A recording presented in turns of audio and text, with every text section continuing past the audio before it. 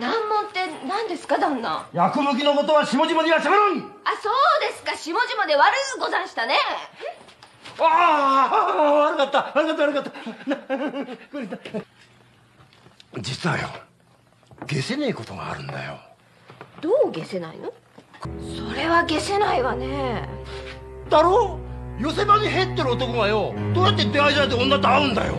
それでその男は寄せ場にいたの？いたんだよ！牢屋行ってこの目でしっかり見てきたよ！じゃあ言うことないわね。それがあるんだよ！